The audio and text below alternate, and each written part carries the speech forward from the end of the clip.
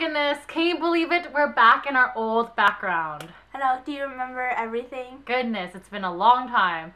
But that's only because I'm back from Taiwan for a little bit. Ooh. Whew, it's nice to be home for a little bit. But anyways, time has flew by because now it is already February. And so that means we have to do our January favorites. So, yeah, let's just get started. Absolutely. My first favorite has been a blush, and this is the Bourjois Paris Diffuse number 37 Rose Pom. So it just looks like this. It's a baked blush. And I don't know. I found this in Taiwan, and when I first saw it, I was like, this is like nothing special. This just looks like a light pink blush. But when you put it on, it gives you such a pretty like glow to the cheeks, and it's like a rosy glow. And it's perfect for winter, and I like it because it's not very pigmented, so it's really easy to just sweep on, and you don't really have to think about it or be careful, which is good because I'm not very careful. So this has been my first favorite of January. My first favorite product for the last month has been my Bobbi Brown Skin Foundation SPF 15 PA+, Plus in the shade Sand 2. I purchased this while I was in Taiwan and they were having like their like annual department store sale. And so this has just been my favorite foundation because I find that it is a light to medium coverage. So it does cover up any like acne scars that I might have from the past or any redness in my skin, but it's not cakey where I feel like my skin can't breathe. And what I love most about this is that the consistency isn't like most foundations that I have. It's more on the watery side. So I love pairing it with my beauty blender and it just makes you have like a flawless skin that just looks so good. And I have never tried a Bobbi Brown foundation in the past, so I'm actually really glad I started out with this one, and I've been loving it since. My next favorite has been a concealer, and ever since high school, lack of sleep, more homework, you need more of this. So this is the Revlon Color Stay Concealer in the shade number 2 Light Pale. And I love this because it's a pretty heavy concealer, which is good because most of the foundations I use are really like light coverage foundation. So pairing this, it covers up all of my acne and all of my dark circles. And even though it's not a peach concealer, it's still pretty brightening just because it is lighter than my shade I have right now. So this has been my favorite and it's also very easy to blend. So to go with my Bobbi Brown foundation, my favorite powder is the Bobbi Brown powder that it, I got with it, which is the Sheer Finish Pressed Powder in the shade Sand Soft Sand number 5 and it's just a beautiful powder that's really finely milled and it goes on the skin so beautifully it makes you look just flawless. It doesn't make you look cakey or powdery where it gives you kind of an older look but rather it's just very simple and it just I don't matte it kind of mattifies your foundation but not to the point where you're completely matte. It still gives you a semi dewy finish. So I've just been loving this powder and it goes perfectly on my skin. It matches beautifully where I don't have any of like the foundation lines or any sort of mishaps like that. So I have just been loving this powder and it's super easy to use. Um, I will say I think it's on more on the pricey side, but if I think you're going to splurge on a powder, then I would definitely go for this one because it again is beautifully milled and so soft and it's just amazing. Okay, so my eyeshadow favorite of the month has been my Maybelline New York Trio in Okay, I have a problem with this. It has two names. So it's either Chic Naturals or Chocolate Mousse. Yeah, it just comes with three colors and it comes with a base, lid, and a crease. But what I like to do is I like to take the base and put it on my lid. and it's really, really brightening and it makes my eyeshadows look really natural but kind of makes my eyes look a little bit bigger in a way just because the white and like the dark browns and it just like really blends beautifully together and this is my favorite. It's also really inexpensive. You can find this pretty much anywhere. It's really pigmented and it's not shimmery and it's not matte. So it's perf. So my favorite eyeshadows this month or this past month has been the Naked Naked 3 palette. Um, I had got this as a Christmas gift from my aunt and ever since I got it I've been using it nonstop because it's just the most perfectly mix of colors that I think go for everyday look and also if you're going to build a smoky eye. But what I love most about this palette compared to all the other um, Naked series is that it has a pink hint to it. So you can see that it's more of a champagne color where it builds up like that and gets darker and so forth. And I just find that these colors are so easy to use and they're so beautiful and they blend really beautifully as well. And so this trip back from Taiwan, I only brought this palette and my Naked palette because I know that with these mix of colors, I know I can build up a lot of different looks and they just go perfectly for any occasion that you're going to go for. So I just find that this palette has been so doable and so perfect for every day, for going out, and it's just been my favorite this past month. So my favorite mascara of the month is a throwback. If you've been watching us from the very beginning, you guys know how much I loved the Maybelline Mega Plush mascara. I can literally go on for days talking about this one mascara, but I don't think you guys want to listen to that. But it just, I don't know, something about it makes my lashes very, very long and thick, but it doesn't look clumpy at all. And I just love the brush and how it bends. I love how it bends because I'm just a weirdo like that. And the smell actually smells kind of good to me. And most mascaras smell kind of bad, but this one smells good. And also, I love how it doesn't make your eyelashes very dry and brittle and crunchy feeling. It's actually still feeling really natural and still like bendable. It doesn't like crack. Mm. So this has been my favorite mascara. Talk about throwback. This is definitely an oldie but a goodie. The Maybelline Falsies Mascara. I don't know how much like I can explain my love for this. Like I, I have like a lack of words as to explain how much I love this mascara because out of all the mascaras I've used, regardless if it's drugstore or a name brand one, this has been the one that's beat out every single one of them because I don't know what it does. It has like magical powers and it makes your eyelashes just look so long and voluminous and it's not long to the point where it feels like it's about to break or it looks really weak. It just gives you that perfect medium between length and volume. And I just, I don't know how else to describe this mascara besides the fact that it's amazing and it's the best out there. And what I love about Maybelline mascaras is their waterproof formula is definitely waterproof. You don't ever have to worry about it smudging or looking like raccoon eyes by the end of the night. And so I just freaking love this mascara. And I know a lot of you out there probably agree with me because this is definitely an oldie but a very, very, very, very goodie.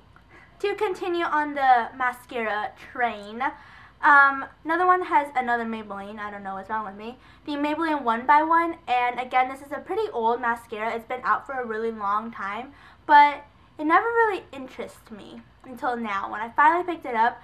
And the formula is good, but the reason I love this mascara is because of the brush. The brush is rubber bristles and it's spaced out so every lash can have like its own coating of mascara.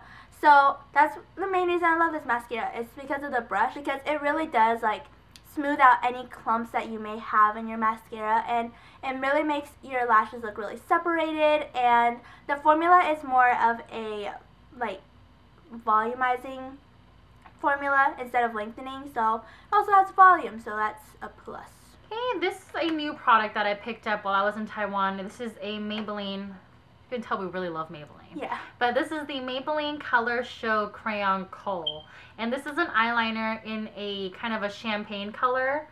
And I just freaking love this. I have yet to see it here in the States, but I'm sure it'll come soon. But what I love about this is that it is the perfect shade to highlight your eyes. So I love using it in the inner corners of my eyes and it just instantly brightens up my eyes and makes you look more awake and it gives you that vibrant look. And so what I love about this as well is that sometimes with using eyeshadow, um, the eyeshadow might fall throughout the day, so the highlight doesn't stay throughout the day. But with this, it doesn't smudge and it doesn't um, wear off throughout the day, so you remain looking awake and flawless throughout the entire day. So I just really love this and it's a great color. I think it's the perfect shade for highlighting as well. It's not too bright and it's not too pink. So it's just the perfect highlighter eyeliner. Say that five times. Speaking of Maybelline and eyeliners, I have yet another Maybelline product. This is the Maybelline Line Express eyeliner in brownish black and it's just a brown eyeliner but with this I love Maybelline eyeliners because again it does not smudge and it stays in place and I can put on my waterline and not have to worry about it and also I really like this because it's not as natural as like a regular brown eyeliner is, but it's not as harsh as a black. So it's like perfectly in the middle, just a really dark brown eyeliner. And I like to use this on my um, tight line and it makes my lashes look super thick and it comes with a smudger. And actually, to no, uh, the past month I have been loving putting brown eyeliner on yeah. my eyes. I don't know what it is about brown eyeliner, but it just gives you that like subtle look of like I'm ready to go out, but I'm not too dolled up. So it's like the perfect shade because sometimes black is a little bit too harsh and that's not the look you're necessarily going for, but brown just makes everything a-okay. But the next product I have been loving is my Dior Capture Lift Serum. And I don't know if I had talked about this on this channel, but I did on my Chinese channel. Um, this is something that um, kind of helps lift up your skin. So it gives you that V shape um, to your chin. And what I love about this is that you can really see the difference and you can see it working really well. Um, I've noticed that after using it, um, your skin is a little bit tighter here and it does give you your face shape a more, like it looks better. I don't know necessarily how to explain it, but it just makes your face shape much more appealing and it works really well. And I don't know what it is, but I love the smell of it as well. So it's just a great product. I know that when I am finished with this tiny little bottle, I will definitely have to go out and get the full size. So moving on to my hair favorites, I have been loving the Garnier Fructis Style Sleek and Shine Flat Iron Protector. And I use like half the bottle already, but I use this as just like a regular heat protectant. For this month, I've been really loving Garnier Fructis hair stuff. I don't know what, like I never really tried it until now, and this is amazing. First of all, it smells really good. And also, I feel like it really does protect the hair, and you do feel like it's a lot softer and more sleek, as it states.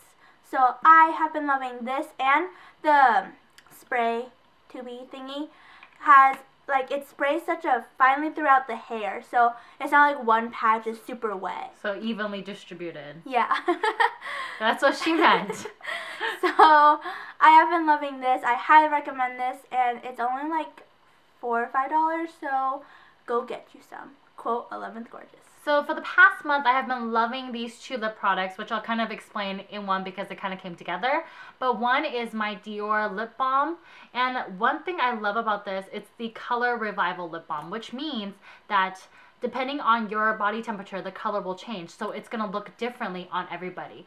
And I find that for myself, it's fairly red on me. Um, I already have naturally really red lips in general, so this has made it just even brighter and a lot more vibrant without using a lipstick, which is what I love because sometimes lipsticks have that taste and that formula that I don't personally like myself and it can make your lips a little bit drier. But with this, because it's also a lip balm, it really moisturizes your lips but also gives you that color as well. So and then the other lip product that I've been loving is my Lip Maximizer, which is also by Dior. And I know my lips are not tiny. They're not small. They're not thin. I just love having full lips. And so with this, it gives you that like, it's kind of like a Buxom lip gloss where it gives you that tangly feeling. It makes your lips a little bit bigger. And I just, I love it. I just, I find that it's, it goes on beautifully and it's not too harsh or too like intense where your lips feel like they're on fire. It just gives you that subtle plumpness that you need sometimes. And because I think the color is similar to that of the lip gloss, it looks differently each time I put it on depending on my body temperature. But it definitely kind of gives you that life to your lips without being overwhelming filled with color. So I just have been loving these two products. They work beautifully and they're just great. So staying on the trend of hair, I have been loving this curling iron. It is by Remington and it's a Remington curling wand. And I got the smaller one and I really like it. So this is how I get my curly hair. And also I featured this in my Get Ready With Me video, which we will link down below. It was our latest video. But I don't know, I really like this and I like how you can get really, really tight, fancy curls. Or if you don't hold it for too long, you can get nice, loose, beachy waves. So what I usually do is I like hold it for like 3 seconds and I have thin hair so it's pretty easy to curl and I really like it and it's pearl ceramic so it doesn't damage your hair as much as other um, curling irons would and personally I like the wand best than a clamp. Mm-hmm. It definitely curls your hair a lot faster than a one with a clamp would, which I don't get why, but it definitely does make a difference. All right, time for random favorites. I really don't have one besides the fact that I love being home. The sensation of being home is just amazing. I don't know if I mean I'm sure all of you guys have been on you know trips, numerous trips before, but sometimes we've been away for so long. Coming home is like the best feeling in the entire world, and being able to sleep on your own bed and kind of being in your own you know space. You don't have to feel like you're bothering anybody or you're invading someone else's space. So that is just my little random favorite. I love the sensation of being home, and I am so glad. My random favorite has been the TV show The Fosters, and she knows what I'm talking about when I am obsessed with that show. I can literally go on forever, and I am Team Brandon and Callie. They better be together, or I'm going to be so sad. And what is life? So that has been my random favorite. I watched all 10 episodes on Netflix in one day, essentially 10 hours, but that's okay. Like literally, she can like put down her phone and like not do anything and like not respond to when I ask her questions because that show is on. Oh my goodness. And this is my face when I'm watching the new episodes. that is exactly it. Completely 100%. But all right. I guess that's it for our January favorites, and we hope you guys like them.